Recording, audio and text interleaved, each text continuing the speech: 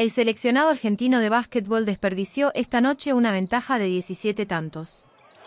Se durmió en el último cuarto y terminó perdiendo 79 a 75 con República Dominicana, en Mar del Plata, en un partido válido por la última ventana clasificatoria al Mundial 2023.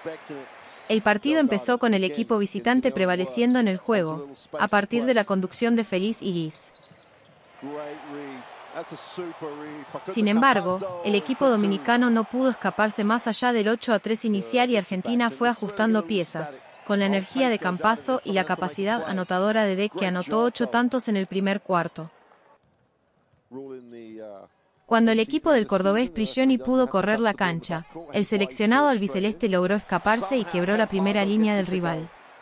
Pero algunas pérdidas inoportunas nos complicaron y los dirigidos por García continuaron en partido usando del tiro exterior. La diferencia osciló entre los 7 y 10 tantos en favor del equipo local y se estacionó en 7, 42 a 35, al cierre del primer periodo.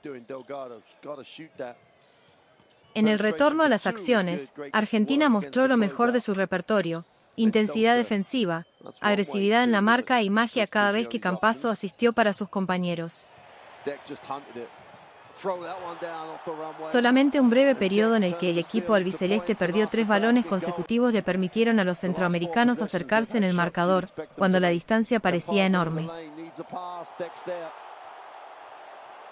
Pero las corridas de Jean Montero le permitieron a República Dominicana meterse otra vez en partido y quedar abajo 54 a 64, de cara a los últimos 10 minutos de partido.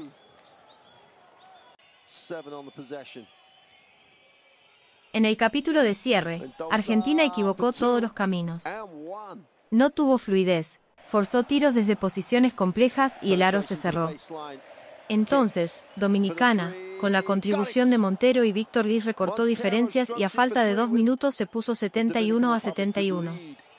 En el tramo final, los nervios le jugaron una mala pasada al equipo albiceleste, que falló conversiones en el perímetro y tampoco pudo aprovechar dos libres de Nicolás Laprovístola. El equipo centroamericano, con la cabeza más fría y el corazón caliente, se quedó con la victoria y la clasificación al Mundial 2023. En el Polideportivo Islas Malvinas, el conjunto albiceleste exhibió una discreta prestación en el capítulo final y permitió la reacción del equipo orientado por el bahiense Néstor García que se llevó una de las siete plazas continentales rumbo a Indonesia-Japón-Filipinas 2023. El combinado argentino, que concluyó con un registro 8 a 4, finalizó cuarto, detrás de Canadá, 11 a 1, República Dominicana, 9 a 3, y Venezuela, 8 a 4.